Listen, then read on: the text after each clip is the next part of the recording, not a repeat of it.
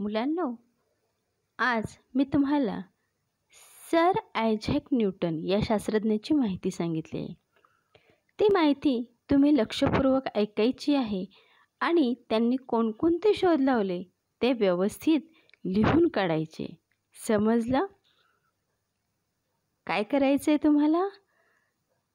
या शास्त्रज्ञाने न्यूटन या शास्त्रज्ञाने कोणते शोध लावलेले आहेत जे मी तुम्हाला सांगितले? माहिती सांगताना.